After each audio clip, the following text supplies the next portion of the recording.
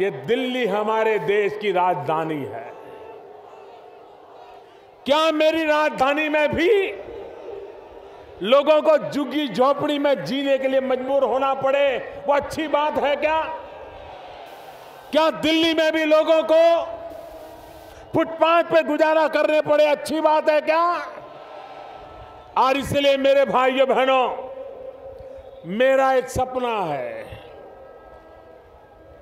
2022 जब भारत की आज़ादी के 75 साल होंगे,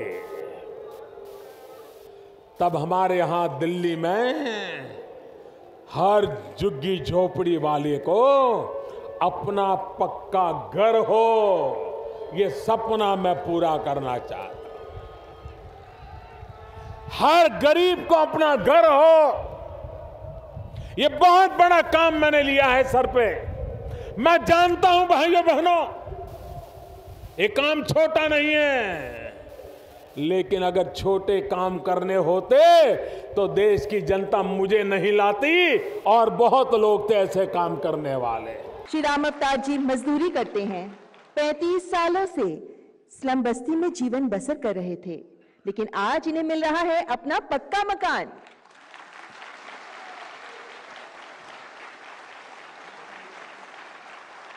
श्रीमती शांति विश्वास जो उन्यासी साल की हैं। उनके पति श्री हजारी लाल, जिनकी उम्र है छियासी साल। आप पश्चिम बंगाल से हैं। 40 सालों से झुग्गी झोपड़ी में ही अपना जीवन बिता रहे थे। हजारीलाल जी पेंशनर हैं। और अब सुख से पक्के मकान में रहेंगे ये बुज़ुर्ग दंपत्ति। मोदी जी द्वारा हमें ए फोर्टीन पॉकेट में फ्लैट आवंटित किए जा रहे हैं। इससे मेरा, मेरे बच्चों का भविष्य मेरे दो बच्चे हैं, उनका भविष्य आगे आने वाले समय में बहुत ही ज़्यादा उज्जवल होगा।